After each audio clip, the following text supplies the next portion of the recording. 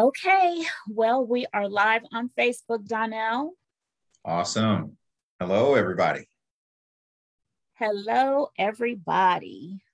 Welcome to episode five of Realtor Life with Donell and Sharon.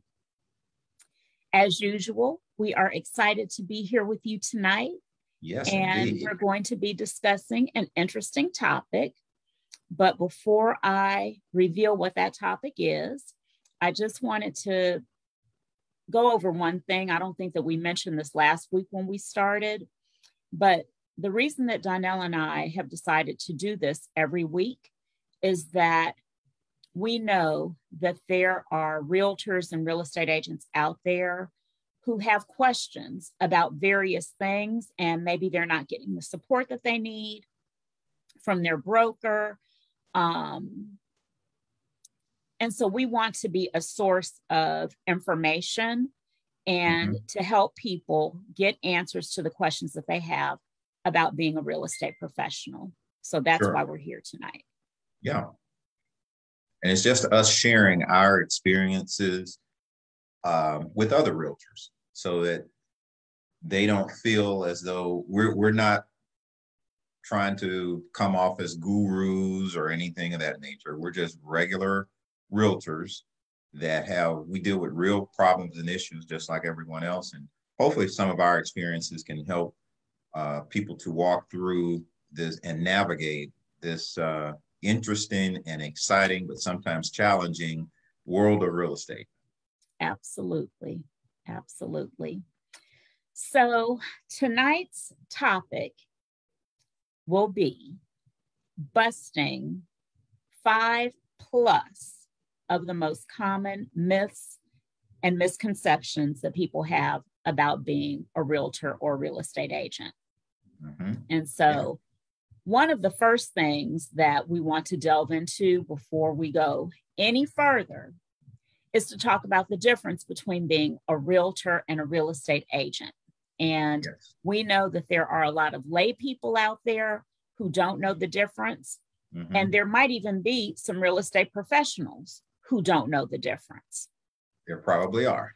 so, to be considered a realtor, you must be a member of a local board of realtors. So, for instance, I am a member, and I think Donnell is too, of the uh, Northeast Atlanta Metro Association of Realtors. And there are dozens of real estate boards across the Metro Atlanta area. It doesn't matter which one that you're a member of, but you must be a member of a local board. And by mm-hmm. virtue of your membership in that local board, you become a member of the National Association of Realtors. And as a member of the National Association of Realtors, you are required to adhere to a certain set of ethics. Real mm-hmm. estate agents, on the other hand, are not members of boards and they're not required to adhere to those that code of ethics. Mm-hmm. So when you're dealing with a realtor, not only does that realtor have to adhere to state law pertaining to being a real estate agent and representing clients and customers in real estate transactions, they have to adhere to the National Association of Realtors Code of Ethics. Real estate agents only have to adhere to state law and that's a big difference. Yes. That that that can I think people use those terms interchangeably. As you said, some of the laypersons may just say realtor agent and not really know the difference. But in this day and age, uh, and, and, and we won't get into all the differences, but there can be a lot of crisis uh, situations, adversarial type situations, and we'll we'll delve into this a little bit later on in the discussion, but real estate is can can be a very challenging uh, profession. But and and anytime you're dealing with money, okay, or and the potential to make a lot of money, sometimes you can have some unscrupulous people, and people may cut corners or overlook certain things. But as realtors, as Sharon and I are, we are held to a higher standard and from a from a client standpoint, I I would rather if I'm going to entrust someone with probably what is the, the largest transaction in most people's lives, I would want to deal with someone that is ethical, honest, and is looking out for my best interest, not just from a fiduciary standpoint, a money standpoint, but just you know, a, a person that's that's looking to do good versus quick, uh, quick and dirty, so to speak. Right, right. And um, one of the things that I'm sure most people don't know is that there are certain brokerages that require you to be mm-hmm. a realtor. So, for instance, our brokerage requires that it is not optional. Right. The brokerage that I used to be with required it. There are some brokerages where it is optional, mm-hmm. but one of the big differences, at least in Georgia, between being a realtor and being a real estate agent is having access to the official Georgia Association of Realtor forms. Glad if you mentioned you that. Are not a realtor, then you have to use these other forms. And I'm not even so sure, you know, if they've been tested in court, mm-hmm. who's who's drafting them. You know, I don't know anything about them because I've never had to use them. But um but we've know, dealt with I, people that weren't realtors in certain transactions. And you and I both have found that one, there could be uh, a lack of knowledge.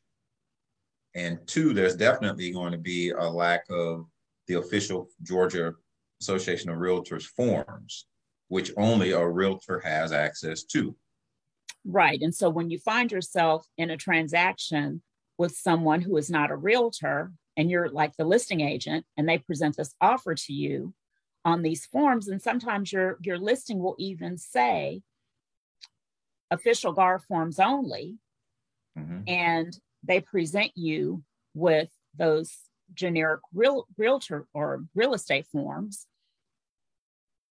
you either have to provide them with a copy of the gar form so that they can redraft the offer on the official forms or you end up redrafting the offer for them and sending it to them you know so it can just be real burdensome There's um, more work yeah extra work bit frustrating sometimes. Yeah. Yeah. Uh, and and you know what? One of the things we do, Sharon, is keep it real, and we're not going to throw anybody under the bus. We're not going to mention names or brokerages or anything like that. We're not those type of people.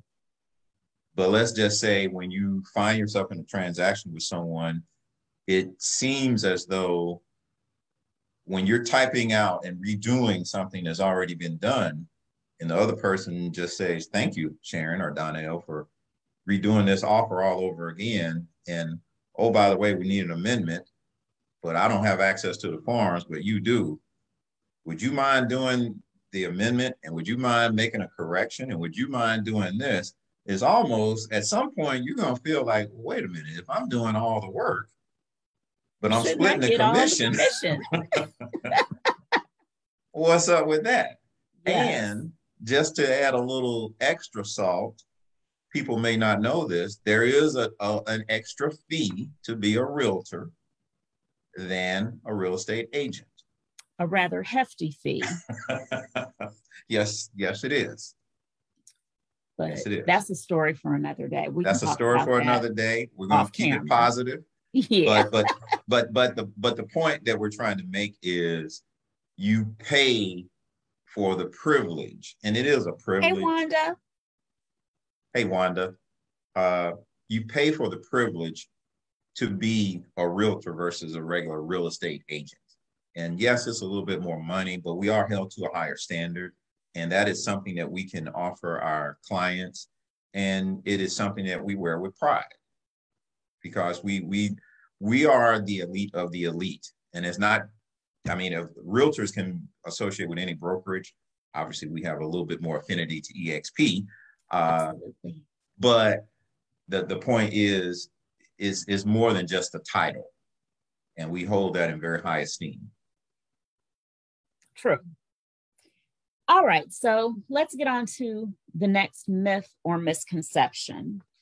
Mm-hmm. Um, and what I have on my list is that every realtor makes a lot of money. Lots of money.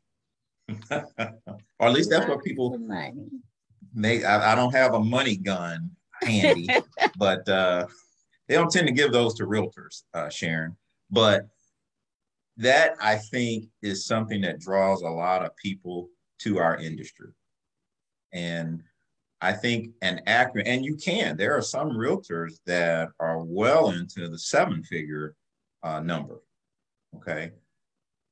But I think we need to just set the, the, the myth correct. There's a lot that goes into that. Okay. And there are a lot of factors that tie into that. The potential exists, yes. But I think just like that, that myth to me, Sharon, is just like the myth that all doctors and all attorneys make a lot of money and make seven or eight figures. Right.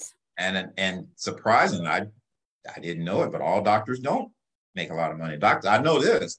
Doctors and nurses uh, have a lot of debt, and I'm pretty sure attorneys do as well. Absolutely.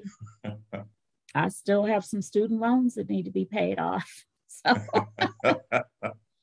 but let's talk but, about the commission. Let's talk about that let's talk big about fat yes. commission check. Yes, indeed. And how much of that we actually get to keep. Mm-hmm. So, for purposes of this discussion, let's just assume that it's a $300,000 house. Okay. And the commission is 3%. So what's that? $9,000. $9,000, Sharon. You're rich. Okay. That sounds great. So there are some brokerages where the agent might get to keep 100% of that. And I say keep. Mm-hmm. I'm using that term very loosely. There are other brokerages where that $9,000 has to be split between the agent and the broker. Mm-hmm. And that split can vary just depending on the brokerage, how much productivity the agent has, and things like that. Mm-hmm. So, the first thing that we need to tick off of the list is that a portion of that $9,000 goes to the broker. Mm-hmm. So, for purposes of our example, let's just say that of that $9,000, the agent gets to keep 80% of it. So, what's that? $7,200, right? Mm-hmm. Okay. Still a nice, nice check. That's still nice. A nice check. But what else comes out of that check, Donell? I've heard of something called E and O insurance. E and O insurance. And when so who needs E and O? What's the purpose of E and O? for those that may not know? Every realtor needs E&O insurance to protect us in the event that there is some mistake, some mm-hmm. error, something error. crazy happens. Mm-hmm. And, you know, long gone for me are the days where I get an earnest money check from a client and deliver it to my broker. Mm-hmm. But back in the day, that was one of my biggest concerns. Like, oh my God, if I lose this earnest money check, what's going to happen? Well, the E&O insurance could kick in to protect me. Mm-hmm. Or if I screw something up on the contract and it costs my client money, the E&O insurance can protect me. Mm-hmm. And if it could I'm be accused, when you, I just want to say something real quick you mentioned if you do something that cost your client money. So it could be the earnest money check that that's, you know, probably one of the most obvious, but it could be that you misrepresent or misconstrue information backwards and forward, and your your client makes a decision that in the down the road cost them money. Right, right. So while E&O insurance is not cheap, you and I know that. In the big is is insurance. Okay. So just and like when and it's called errors and omissions insurance. Errors and omissions. Yeah. Just a fancy way of saying malpractice insurance. Exactly. That's basically what it is. Yeah. And even though it's expensive, you don't think about it, you don't want to pay it, just like our, our regular insurance. When you have to pay your life insurance, health insurance, a more common is your car insurance. When you say, "Well, I haven't had a I haven't had an accident," this is just a waste of money. It's a waste of money until you have an accident. And had you not had that insurance, and I mean, those those costs could be exorbitant. Same right. thing with this. The little bit of money that you pay for E and O, uh, malpractice insurance, so to speak, pales in comparison to when you should you get sued by anybody. And I don't, Sharon, you you were an attorney. I don't think people really still sue am. people. Oh, you still are? Okay. Good. Still am, good. just don't practice. Just don't practice. So you would be able to answer this better than most. When typically, when there's a lawsuit, do people sue people for $150 or $300? Oh, no. no. It's thousands, that, hundreds thousands. of thousands. So they're you just know, you're 30, just getting 40, started. Fifty thousand, yeah. I mean, it, it's not just a few hundred dollars, and and you know what? There are suits that involve smaller amounts, and those go into small claims court. Mm-hmm. But larger amounts, those suits are filed in superior court.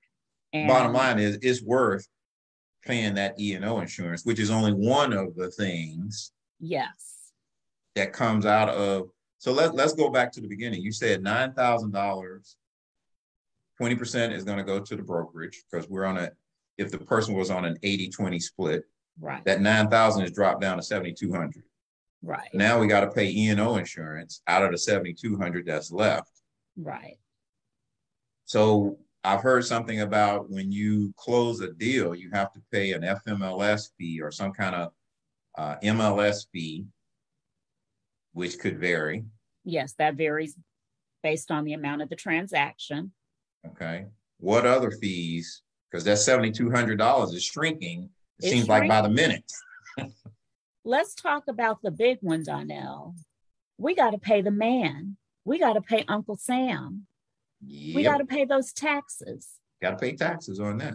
It's not free. Got to pay those taxes, and that's a big chunk of that seventy two hundred dollars coming out. Yes, it is. Yes, it you is. Know, and and I don't know what other realtors do, but I try to set aside, you know, and do my estimated taxes so mm-hmm. that I don't have a big tax bill come April 15th. Mm-hmm. mm-hmm. And typically, what I do is peel 10% off the top immediately. And that's what I send to the IRS okay. every time I have a closing. Okay. So you got to pay those, you got to pay taxes on it, whether you're doing estimated taxes or you're waiting until April 15th and you're writing out a check to Uncle Sam. Got to pay those taxes. Karen, I hate to say it, but uh, that $7,200 is shrinking every time you start talking about stuff. And I'm pretty sure you're not done. I'm not done unless you're like, unless you're the one realtor in America where people are breaking into your house to ask you to sell their house, or they just know you from our world famous Donell and Sharon Real Estate Life podcast, you probably are doing some form of marketing. Yep. Which that's a cost. Now, so Sharon, here, here's something. Does the brokerage pay you to market? No. So where is that now, coming The brokerage might market, but they're marketing the brokerage. Ah. So, you know, I haven't seen any commercials for our brokerage on TV, but I see commercials for our competitors Absolutely. on TV. Absolutely. But they're not saying, hey, we got this wonderful realtor here, Susie Smith. Mm-hmm let her list your house. Mm-hmm. They're talking and expounding on how fabulous the brokerage is brokerage and how is. long the brokerage yeah. has been in business and how the brokerage will do X, Y, and Z. Right. Right. But they're not marketing any individual agent. And really, they can't because they have thousands of agents. Exactly. And that wouldn't be fair to all the other good agents or great agents. So that's another cost. Right. That falls so, on on the realtor. Whether you're talking about running a Facebook ad, doing a paid ad on Instagram. Maybe you want to be in one of those uh, throwaway magazines that mm-hmm. you see at the grocery store. Maybe you want to be, and I've done this one before, be on the grocery cart. Yeah, that's a good one. And that was not cheap. And I no. didn't get not one phone call. Oh, no. Off of that. But anyway, story for another day. Yeah. My point is that whatever marketing we do to try to generate business, mm-hmm. it's up to us to pay for. Yeah. And I certainly have had assistance from a broker, you know, where I went to them and said, Hey, I want to do a postcard campaign mm-hmm. for a, a, seminar that I'm doing. You remember when we did the seller seminar, the seller workshop? Yep. And so sure. my broker paid for me to do this postcard campaign, but only because I asked her and she mm. was like, you know what, you never ask for anything. So the answer is yes, she didn't even think about it. But just generally speaking, right. we are responsible for paying those marketing costs. Mm-hmm. Well, Sharon, I mean, and again, I'm I'm playing the the layperson uh, so that we can ex- illustrate the point. But I know you've got a very economical car and that car runs on goodwill and prayer.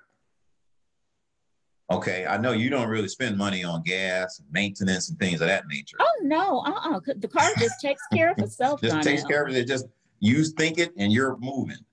Donell, talking about the car. You know what happened with my car, right? I do. You know what happened with my car.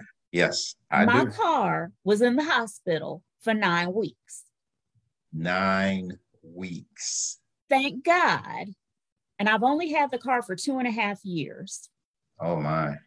And it was, I bought it used 2013 model year. Mm-hmm. Thank God I had the auto warranty. Yes. Because after all was said and done, everything that could have broke on the car, damn near broke. It broke. after all was said and done, those repairs cost almost $9,000. Wow. Yes. Yes. Two thirds of what I owe on the car. Okay. So, so, and, and if your car is like most people's cars, that's probably not the only repair that you'll ever do on the car. No. I've had flat tires and then, of course, just the routine maintenance, oil changes, yeah. things like that. As a matter of fact, my car's in the shop right now oh. because oh. the battery died.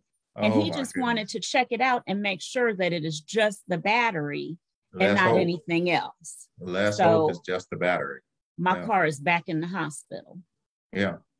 But and, and this, all of that this, costs. Yeah. Well, yeah. Plus, there's auto insurance. Yeah. And that's there's not that. cheap. No, it is not. And, you know, and my auto insurance, I thought, okay, well, I'm getting this new car. I had to get it because my other car was on its last leg. I had driven that car for 16 years. Mm-hmm. And I really didn't want to get a new car, but I had to. Mm-hmm. And I wasn't even thinking about the auto insurance going up. Right. Right. Donell. that auto insurance is so expensive. It is yeah. so expensive. And you would and think so, you're getting a newer model car, it would have more of the latest safety and and economical features and functions that the insurance this is clearly better than what I was driving. That's what you would think, but you know what? Since it's a sporty little car, mm-hmm. they're charging me more. You know, I went from a sedan to this little SUV, sporty kind of vehicle. Mm-hmm. So I'm having to pay more. And then you know the auto insurance is a racket, so it just keeps going up. No accidents, mm-hmm. no moving violations or anything like that. Mm-hmm. And it just keeps going up. So again, a story for another day. But we say all that to say you got to have a vehicle if you want to be a realtor. You can't do real estate in an Uber. You can't do real estate on MARTA. you know, it just Good, nice concept, like but it's not going to work. Yes. yeah. So, what other expenses are there? Yeah. Uh, and, and just for the record, our $9,000 check is not looking really good right about now. Uh, no, it's not. Oh, oh, I have one. Mm-hmm. And this is before you get to just your regular keeping a roof over your head kind of bills. Health insurance. Uh, yeah, there's that. you know, what if you get sick? What if you get sick? And Donell, I have lived my life working for somebody, having health insurance, and I have lived my life being self employed and not having health insurance. Yeah. And thankfully, right now, I have health insurance and it's affordable, but Good. being self employed and long before uh, the Affordable Care Act, mm-hmm. when I was still practicing law, I got a health insurance policy that was $141 a month. And over 18 months, it went up to over $400 a month. And wow. so I let it lapse and I didn't have health insurance for, God, a good 10 years. Mm-hmm. And it's only by the grace of God that nothing terrible yeah, happened. Really. You know, I had a couple trips to the emergency room that I had to pay out of pocket for, you know, mm-hmm. knee injury, whatever. But, you know, thankfully, no serious illnesses or anything like that, no major accidents. But you got to have health insurance. I mean, and I think in this day and age, it's more important than ever, you know, with COVID 19 and. Oh, absolutely. You know, yeah, all the craziness in the world, but yeah, that's another absolutely. expense.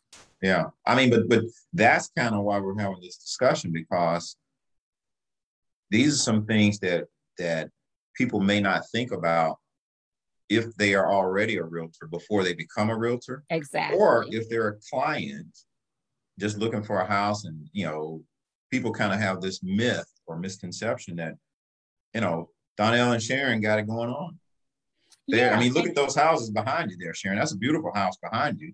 Clearly, you know, you're making a lot of money. I'm making you see this house behind me. Uh, that's beautiful. But the reality of it is once we pay these things and we haven't even we're we're just, I mean, you can't just, you know, send up a, a carrier pigeon, you got to have a phone, Sharon, and you can't have you can't have you know your mom's flip phone from 1989. That's not going to work. Got to have a smartphone. Yes. That has good pictures, good picture quality. You got to be able to text. This is a, a quick information society we live in. You got, got to be able to get your email and sign documents on your phone. That's not to not, mention mm-hmm. to have the app to be able to open the lock boxes. You gotta have. If you can't access the lock boxes. You can't be you. a real estate agent or a realtor. You mentioned the lock box. That's not free. A hundred dollars a pop, unless okay. you can find some used ones. And there's a monthly fee just for the access, even if yes. you don't own your own lockbox. So the costs keep going and going and going. So I think we we've kind of illustrated the point yes. that the potential exists in this business. And, and, it's a great business. Don't get me wrong. I mean, I enjoy just being a, a realtor. I mean, you get to meet a lot of really good people and help a lot of really good people. I mean, there, there's that. nothing like, you know, when a person has gone through that process, especially a buyer, first time buyer, especially, and they're nervous, they're anxious, they're not, they don't know what to expect, and they're just waiting for that big gotcha.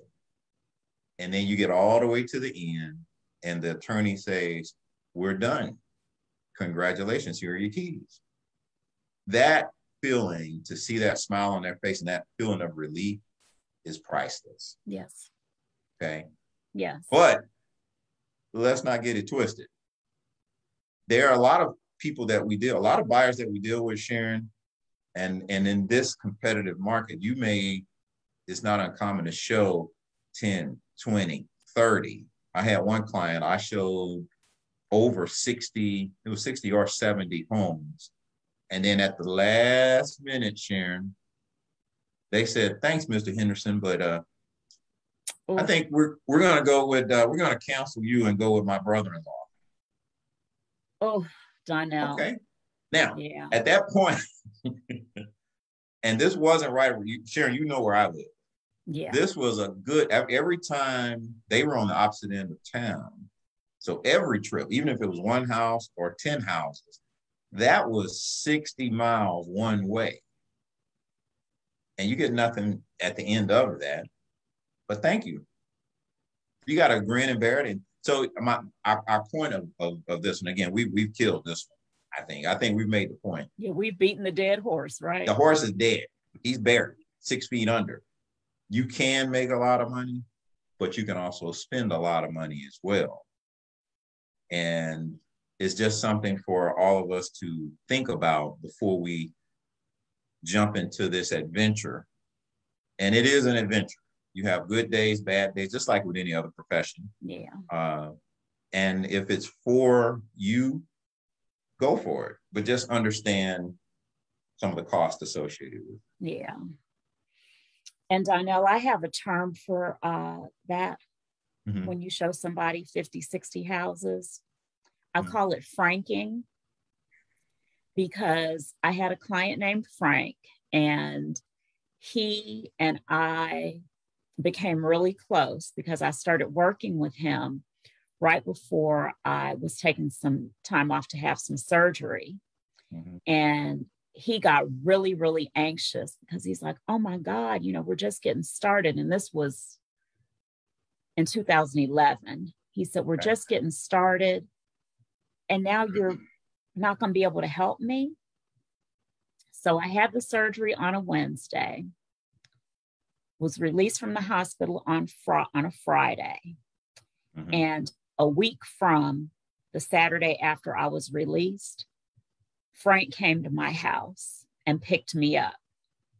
Oh, and wow. over the next six or seven weeks until I was cleared to drive again, Frank would come and pick me up a couple days a week and we would go look at houses. That and he awesome. only had he had cash to spend, but only a little bit of cash. And you know, this was in the midst of the recession. Mm-hmm. So he had like $35,000 to spend. Mm-hmm. And when I tell you, he drove me all over metro Atlanta, Douglasville, Lithonia, Snellville, Stone Mountain, Decatur, Ellenwood, Jonesboro, River. I mean, we went wow. everywhere looking at houses. Uh-huh. And he and his wife finally bought a house over in Rex. But okay. we were up into that 60 60 to 70 mm-hmm. house range. And so mm-hmm. I coined the term franking, like, oh my God, I think I'm going to get frank this time. So, yeah. Well, well yeah. your, the original Frank was actually a good Frank because. Yes. Because at least I around. did get yeah. him into a house. Yes. Right, right. Yes. Yeah. All right. So back to business. Being a realtor, and this is kind of along the same vein of what we were just talking about as far as making a lot of money. Mm-hmm. But being a realtor is a way to make some quick and easy money. Quick and easy. And so Everybody I think franking that. is a great segue into this. Mm-hmm. Mm-hmm. There quick is nothing easy. quick or easy about being a real estate agent. And no. my advice to anyone who is considering a career in real estate if you're thinking it's going to be a quick and easy way to make money, don't become a real estate agent. Just don't do I, it because I agree. You are going to be profoundly disappointed when mm-hmm. you get into this business and see the amount of work that it takes to get to the closing table and get that commission check. Yes. Yes, absolutely. It is dealing with clients, some of whom, like Donell was saying, are nervous.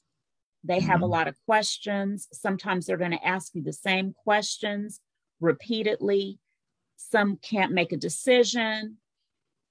They have people off stage chirping in their ears, making it yes. difficult for you to do your job. Yes. There is attention to detail. There's dealing with contracts. There's dealing with the other agent who may or may not know what they're doing. Correct. Unrealistic there's expectations. Unrealistic expectations, thinking that their $200,000 is going to get them a five bedroom house on a full finished basement on five acres and Will having to manage all of that and you know bring yeah. them back to reality yeah. you know there is just a lot that goes into it this yeah. business is not for the faint of heart It you is got that right. for people who do not have people skills if you are not a people person if you are not able to manage expectations manage emotions and things mm-hmm. like that this is not the business for you if you cannot or if you're not comfortable with delivering bad news you really need to evaluate whether you want to take this on because like i said some days are going to be the highest of the high. You couldn't put a, a, a dollar associated a dollar amount with the euphoria that you feel on some days. And it feels good sharon. Uh, it let's does. just just just keep it real. When you walk out of that attorney's office with a four, I haven't had a five figure check yet, but a high, you know, 9,000. Well, I take that back. I have had a, a, a one, or, one or two large, very large check. That feels good. Okay. It feels good when that buyer reaches their their dream, their walk out with the keys. Yeah. Those are the highs. But there are also some lows. And the lows can be gut wrenching. And, and again, we're just keeping it real. Uh, you got to really be prepared uh, emotionally. Uh, the letdowns can, I mean, some people are, will attack you and you're just the messenger. Yeah. Uh, I've certainly know, we, had that happen, Donell. Oh, yeah. Yeah. We all have. And, I mean, and I, I've had one instance where the client was just inexplicably angry with me over something that didn't have anything to do with me. He mm-hmm. wanted to have a pest inspection done on a particular day. And I delivered that information to the listing agent. The listing agent comes back and says, My clients aren't available that day because one of them is having surgery. So there will be nobody there to let you into the home, and there is no lockbox. Mm-hmm. Um, I think they had removed the lockbox once we went under contract. So um, these are the days that they would be available. And so I gave my client the alternate days. And when I tell you this man lost his mind to the point where I called my broker and was like, I'm having a problem. You know, can you talk to him? Because I'm actually afraid. Wow. And I didn't go to the closing and he he didn't make any blatant threats. Mm-hmm. But it was just this this fury. I mean, it was yeah. it was you dealing just with real people. inexplicable that this could make the man as angry as, as he was. And he, yeah. I ended up getting an email from his assistant, who I think was really his daughter-in-law, mm-hmm. telling me not to contact him anymore. And I'm like, you don't have to worry. Well, Thank my you. broker had reached out to him, and the uh-huh. assistant emails me back saying, I told you that he said, and I'm like, look, that's my broker. I said, and let's right. just take a step back from this. Mm-hmm. I don't know you, mm-hmm. and I can't communicate with you unless I receive something in writing from him. Authorizing mm-hmm. me to do that. Right. And so he typed up a little email and sent it to me and told me that I was authorized to deal with his assistant. But I didn't even go to the closing because I was afraid yeah. of what might happen at the closing. And the listing agent ended up calling me afterwards and saying, "Oh my!" And I had told him, you know, I'm I won't be at the closing today, but I didn't go into any detail. Mm-hmm. And um, he called me afterwards and he said, Sharon, when I tell you that man threw you under the bus, and rolled over you and backed up and, and hit reverse. Over you. He said he talked about you mercilessly. And he said, the whole time I was just sitting there thinking, this is not the same agent that I've been dealing with because she has been nothing but, you know, professional. And he said, What yeah. happened? And I said, You know what? He got pissed off because he couldn't have the pest inspection done when he wanted to do it. That's what all of this stemmed from. And he said, I'm so glad you weren't there. He said, yeah. because I think that he might have tried to do something to you. He said, I really, really do. He said, at the very least, I think that the police would have need to have been called. That's at the least, at the least, the police yes. would have been called. Yeah, that's ridiculous. It, but I mean, but, but Sharon, crazy. that's just the. I mean, a lot of times I hear other agents say, and there's a term we use in the industry. It's manage your client. Mm-hmm. Okay. And I understand the concept of that. Yes. Okay.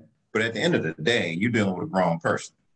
You can't make anyone do anything. Right. Okay. And if a person chooses, I had unfortunately a, a, a situation where there was some discrepancy. We got all the way to the closing, and the client decided not to come to the closing. Mm-hmm. They had their reasons, and to them, they were valid. But we we talk about contracts and is and in this business contracts are big everything is is everything. predicated on a contract okay and if the con you agree to do something or not to do something everybody agrees so that we all have a meeting of the minds we're all on the same page in layman's terms and in i would say 95% of the cases things move like they should. But if a person chooses, I mean, we can only do so much. We literally are, in a lot of cases, the messenger. And if I can only, you know, and, and that that might be a topic, you know, down the road as to what can you do realistically? Okay? And what mm-hmm. can you not do? And, and sometimes we as agents and realtors get mad with each other because something that the other client didn't do or did do or, or ask or whatever. Should have done yeah. should have done yeah could have done and we're at the end of the day you're dealing with real people. And some things rub people the wrong way and they're not they don't know. I mean the way that we we deal with disagreements in general, just in society, sometimes uh, is not, people argue, we can have a disagreement, okay, difference of opinion, but we got to have boundaries. And in real estate, the contract is one of those boundaries that kind of keeps us. You can only go this far before something else happens by yeah. this time or so on and so forth. But the know, clients, like one of the things that well, let me put it this way I feel that one of my biggest assets as a realtor comes from my time of, of having practiced law. Mm-hmm. And like, I'm a rip the band aid off kind of person. If there's bad news to be delivered, I'm a deliver it, followed mm-hmm. by, okay, here's how I suggest we resolve it. You know, we have sure. option A, B, and C to resolve whatever the issue is. Mm-hmm. And so I don't have a problem delivering bad news. And I'd rather go ahead and just, like I said, rip the band aid off and get it over with yep. than to sit on it and it's let it fester change. and let the client wonder what's going on or, you know, right. keep right. them in the dark, which is just a terrible thing to do. Correct. But procrastinating on delivering that bad news isn't going to change the fact that there's bad news to be delivered. It could possibly and, make it worse. And so I pride myself on being a problem solver. Mm-hmm. And I can think of any number of times over the years where I've had to explain to a client one of the things about a real estate transaction is that there are a lot of moving parts. Yes. And no one person has control over all of those moving parts. Nope. The listing agent has things that are within his or her purview. The selling agent the buyer's agent, has things that are within his or her purview. The closing attorney has things that are within his or her purview, the lender, and so on and so forth. Mm-hmm. But right. no one person in the transaction controls all of that. And no. so, you know, that's why there needs to be an open line of communication. Everybody Absolutely. needs to be on the same page. And unfortunately, so many times there's some little loose end. One person isn't holding up their end of the bargain. Mm-hmm. And that can yeah. complicate matters, you know, prolong things, whatever. And that's yeah. why I try to be the one who's being proactive, you know, staying on top of the various dates and deadlines and things mm-hmm. like that. And just trying to do my part to make sure that the transaction is moving along as best I can, but like I don't have anything to do with the loan. I don't have any control over underwriting. The inspection, you know? the appraisal. Yes, yes. Getting the closing documents to the closing attorney, getting the money to the closing attorney. None of those things are within my purview. All we can do is explain. Sharon, we had one that I had one that closed today. And it could have been an issue over the smallest of things. Is basically misunderstanding, or you could say miscommunication. Mm-hmm. The buyer was from New York, buying a property here in Georgia, cash. And what she wants, she asked for, using New York, her New York terminology was the title report. So I had given her the attorney's contact information, but she felt more comfortable with me. So she called me and said, You, Donell, need to send me the title report. Obviously, I don't have the title report. I can't send it. So I called the attorney and relayed the message. And I CC'd her on the email of what she was looking for and could she, could he send the title report prior to closing today. This was last week, mm-hmm. which he did. He got the email, sent the title report over so she could check it out. She said, That's not what I want.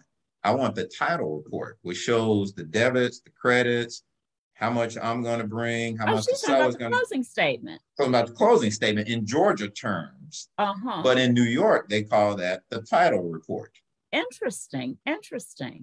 But again, I'm the, the point I'm trying to make is in this business, you can't just be siloed in that this is what I do. That's not my job. Somebody better figure it out. A lot of mm-hmm. what we do is triage. And we are counselors, we calm people down, we, are educators, we explain contracts and why this had to happen.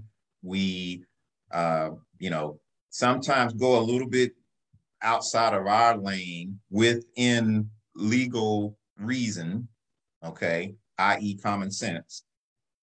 And we make we we bridge the gap. A lot of what we do is bridge the gap. And what I try to do is put myself on the other side because at some point you're going to be the listing agent or the selling agent. And an extra word or two or sentence might just bridge the gap. So I could have said, well, we sent you the title report. Sorry, that's it. Right, right. But I asked a couple more questions to understand. And, and when she got it, she said, Oh, yeah, this is what I wanted. Everything's fine. But you got to have a lot of patience. And and again, we beat this one to death. We, we probably have time for one more. But what we're showing with this example, simple and easy, are rarely used in a real estate agent's life. Right. We, we've just we've just touched on some of the complicated scenarios. This and is I'll not necessarily easy. Too. If you are not a person who has more of a proactive Absolutely. personality, if you are more reactive, this might not be the business for you because sometimes things are going to come at you and you don't necessarily have the answer to it. Mm-hmm. And you might have to do some research to find the answer. Like, mm-hmm. I can give an example. I had a client who was, um, I guess, purchasing, yeah, I think he was the purchaser, uh, and he had VA financing. And I get an email or a phone call from the loan officer talking about the Tidewater Initiative. And I'm like, what the hell is the Tidewater Initiative? is that something from the Bourne Identity or? right, right, right. And that's their way of saying that the appraisal came in low. Beautiful. But I immediately went to Google and I'm like, what in the world is that? What is that? And I got the answer. And I'm like, okay, I wonder how come they can't just say that? Why they have to use Tide, Tidewater Initiative? And I might not even be given the right uh term. As if we don't have enough confusing terms in real estate already. Right, right. So, you know, you just need to be proactive and have the type of personality where you are willing to look for solutions. Yes. I can't tell you how many deals I have saved mm-hmm. coming mm-hmm. up with something creative and communicating with the other agent in the deal, yep. you know, and just figuring out a way to make the deal happen. And that's when your clients love you. Like I have one young lady, I represented her and her husband when they were selling a house. She has referred me to her mother. She's mm-hmm. now studying for her real estate exam and wants awesome. to, you know, join us as soon as she passes. And that's awesome. You know, but she just remembers the lengths I went to mm-hmm. to get their house sold. Sharon, I'm in the business because my realtor took care of me. she educated me. Yeah, I'm, I'm going to tell you in a minute, but I got to boost her up first. She educated me. She was professional. She gave me different options and solutions. And she just made me feel comfortable. And I'll admit, I didn't know what I was doing, but it wasn't, it, it became a situation where it's not about the money. It's about, I felt like I had a team behind me and it was just, just her. But she gave me that level of confidence to move forward with an investment transaction. And then we did several more to the point that I joined her team as a realtor. And then guess what? She joined my team and now we're on the podcast here. That was Sharon Smoot, by the way. folks didn't know that. Sharon was my realtor. But it, it it it really goes down, comes down to when you feel that confidence and your realtor can do that. And if you're open to listen and explain things, again, this is this can be very complicated and intimidating for a, a new buyer. But and if, even and, for a new seller and even for a new seller. Selling for Absolutely. the first time. Absolutely. So I, I, the only thing I'll say, and then we'll move on, is you mentioned if you're the type of person that is reactive and quick to fly off the handle and quick to point the finger at somebody else, you said it very diplomatically and professionally. You may want to reconsider becoming a realtor. I'm just going to keep it real. Please do not get into this business because we got enough of those type people already. We don't need any more.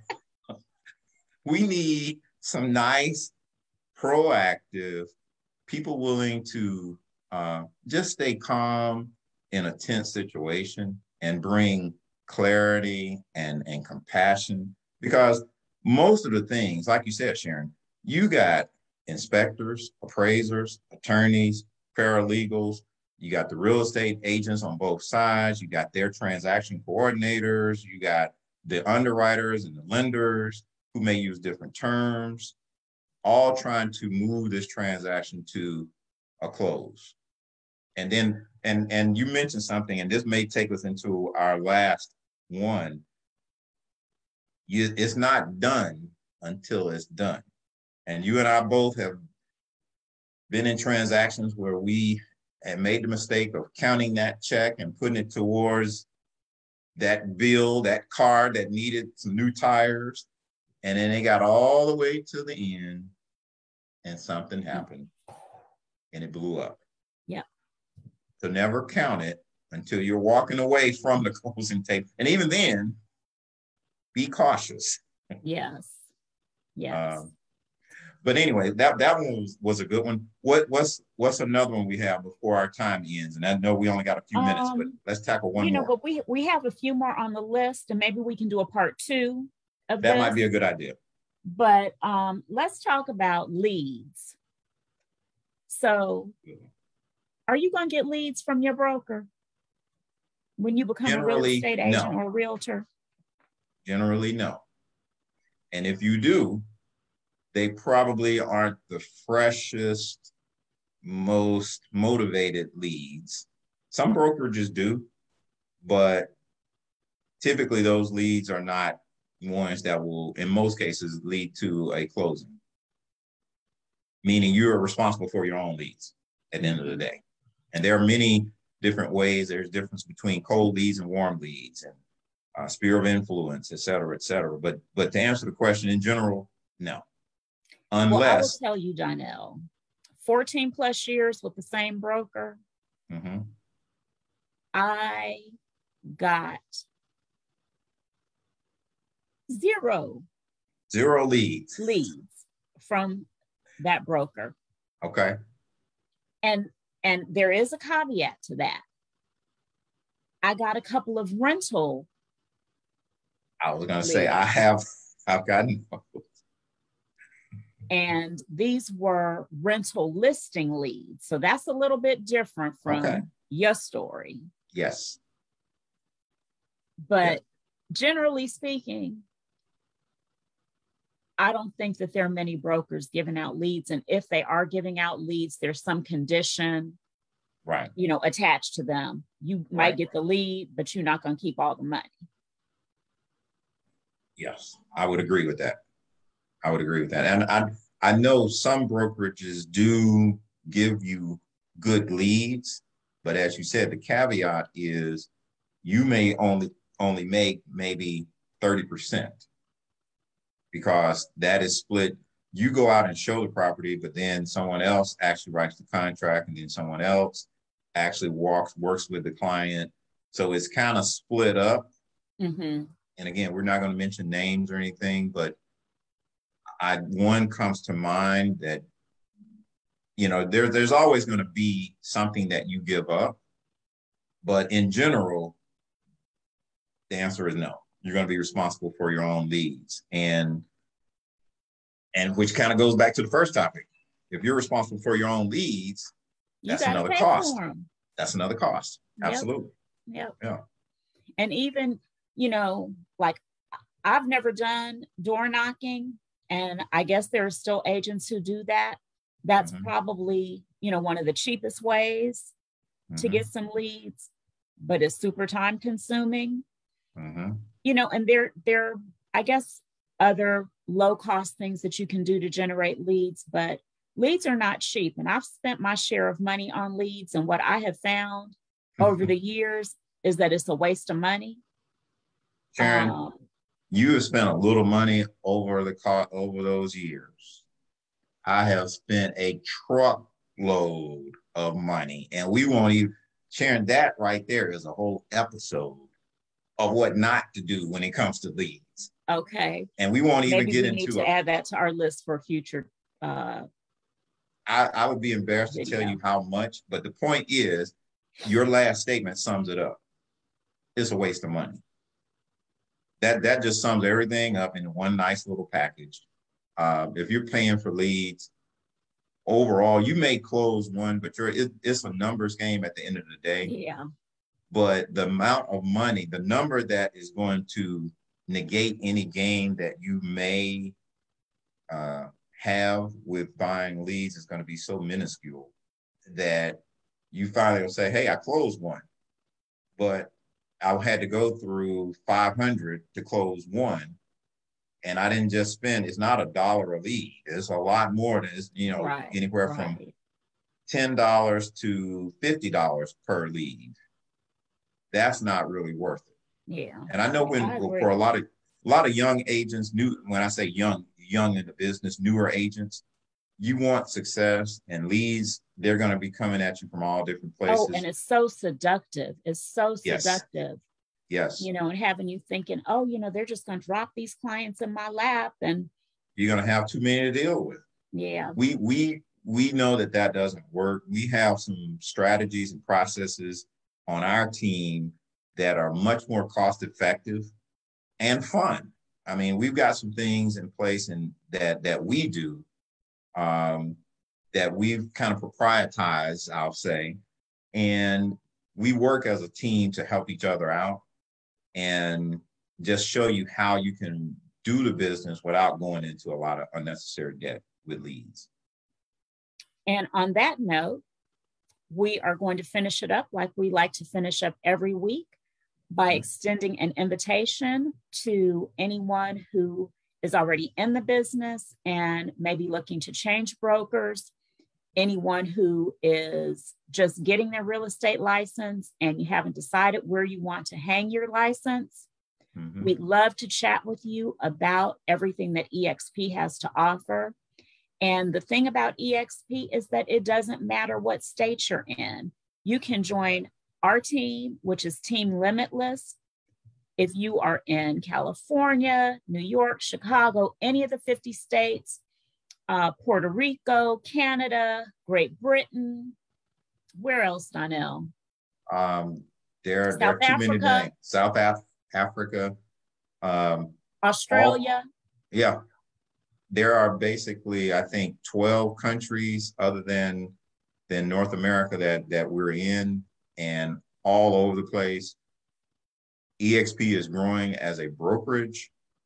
They offer so many things, too many to list here. That's an episode all in itself. Yes. But uh, we are excited. Our team is growing every day, and we are just excited. I mean, one of the things, one of the reasons we do this is that we've got agents with 16 plus years and agents with six days worth of experience. Right.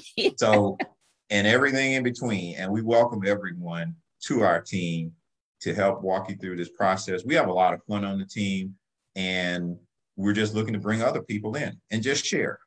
We really are a family. We, we call it a team, but we really are a family. Yep. And you will have support and mentorship and you know just a sounding board someone to ask questions we will be there for you yes indeed. and we are just so excited about the future and everything that exp has to offer Absolutely. and you know we'd love to share that with you yeah. and bring you on board so reach out to us i am going to put my contact information in the chat, and I know we'll do the same. And I will also add this info to Facebook.